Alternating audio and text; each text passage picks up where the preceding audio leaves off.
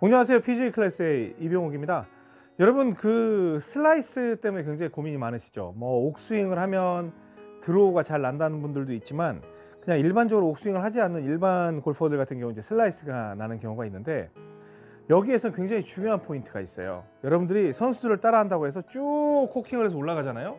근데 여러분들의 손은 여기 있는데 프로들은 여- 뒤쪽까지 가 있어요. 그러니까 이들은 코킹을 해서 돌아 들어오면서 손을 이렇게 덮어주면서 공을 품을 수 있는 손목 동작을 만들 수 있는 공간이 있어요. 근데 여러분들은 꼭 정면에서 보면 어, 딱 이렇게 하면 선수하고 똑같이 한 것 같아. 근데 여기 보면 이렇게 와 있죠. 근데 선수는 여기가 있단 말이에요. 그러니까 공간을 훨씬 더 많이 확보해서 시간을 더 쓸 수가 있기 때문에 손을 돌릴 수가 있는데 여러분들이 코킹을 지나치게 하면 그걸 갖다가 복구시킬 수 있는 그러한 시간이 없는 거예요. 그래서 이건 어떻게 하냐면 백스윙을 갔을 때 거의 똑같은 모양으로 한다 하더라도요. 손이 이렇게 이렇게 꺾여 있는 모습이면 굉장히 불리해요. 그래서 이렇게 둥글게 말려 있다는 느낌. 이렇게까지 말지는 못해요.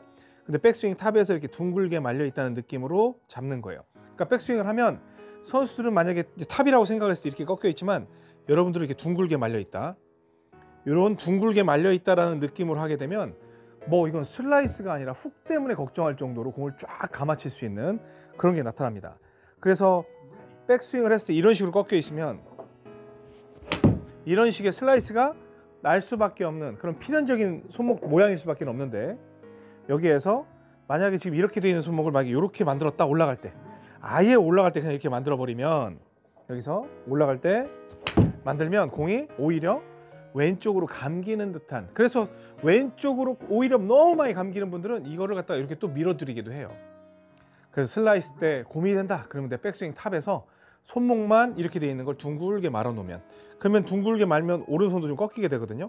그런 좀 불편한 느낌을 인식을 하시기 바랍니다. 이건 선수들이 코킹을 한 상태에서 내려올 때 만드는 모양이에요. 이걸 미리 만들어 놓는 거예요. 그래서 여기에서 둥글게 음, 둥글게 만들고 치기만 하면 얘는 쭉 왼쪽으로 감기는 그런 샷을 할 수 있으니까 슬라이스 나시는 분들은 이렇게 교정을 하면 순식간에 바꿀 수가 있습니다.